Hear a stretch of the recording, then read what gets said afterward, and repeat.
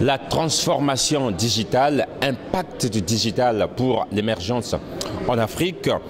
Ainsi donc a été intitulée la troisième édition CIO MAG.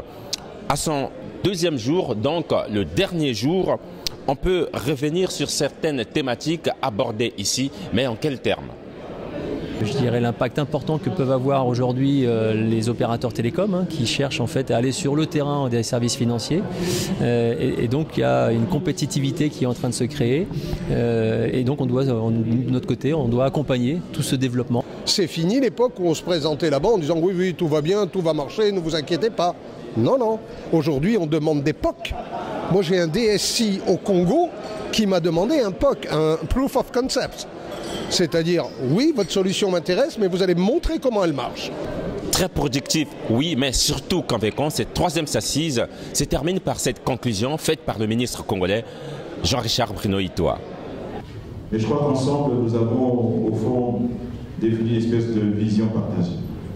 Nous avons ensemble dit que nous, nous croyons que la transformation digitale est une chose non seulement qui est réelle, concrète, mais qui est en marche.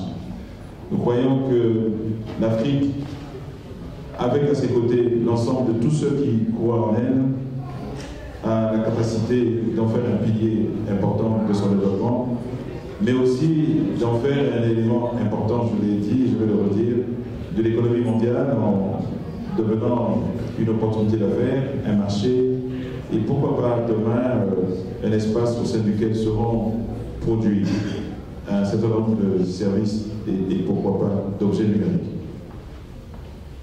Je crois que nous avons ensemble fait le tour de ce qui est déterminant pour y parvenir. Que nous allons continuer à nous voir, je l'espère.